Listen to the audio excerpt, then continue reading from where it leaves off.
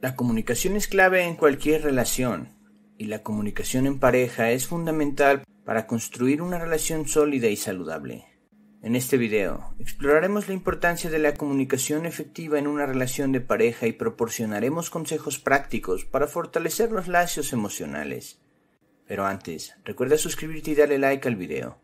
Así nos ayudarás a seguir creando contenido como este. ¿Listo? Comencemos.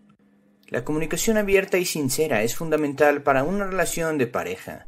Permite expresar sentimientos, necesidades y preocupaciones de manera clara y respetuosa. Esto fomenta la comprensión mutua y fortalece la confianza en la relación. Algunas recomendaciones para tener una comunicación abierta son Establece un tiempo regular para hablar sobre cómo se sienten en la relación y qué necesidades tienen. Comparte tus pensamientos y sentimientos de manera clara y honesta evitando la crítica o el juicio. Fomenta un ambiente de confianza donde ambos se sientan seguros para expresar sus opiniones sin miedo a represalias. La escucha activa es una habilidad clave en la comunicación en pareja.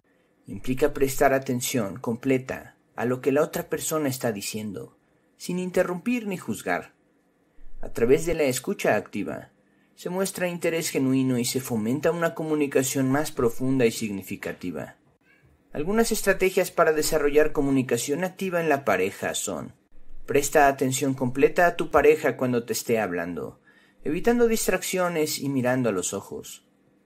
Repite o parafrasea lo que tu pareja ha dicho para asegurarte de entender correctamente. Haz preguntas abiertas para profundizar en su perspectiva y mostrar interés genuino en lo que están compartiendo.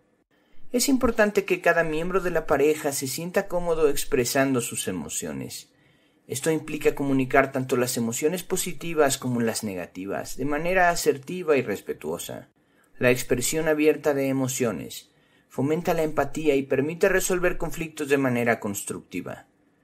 Aquí algunas recomendaciones para expresar emociones adecuadamente. Identifica tus propias emociones y reflexiona sobre lo que quieres comunicar. Utiliza yo en lugar de tú al expresar tus sentimientos enfocándote en cómo te afecta personalmente. Evita la confrontación y la agresión verbal al comunicar tus emociones. En su lugar, utiliza un tono tranquilo y constructivo. La comunicación no verbal desempeña un papel crucial en la comunicación en pareja.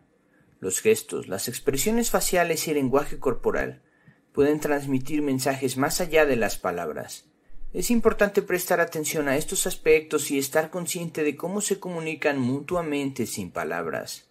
Algunas recomendaciones para mejorar tu comunicación no verbal son Presta atención a tu lenguaje corporal al interactuar con tu pareja, mostrando apertura y receptividad.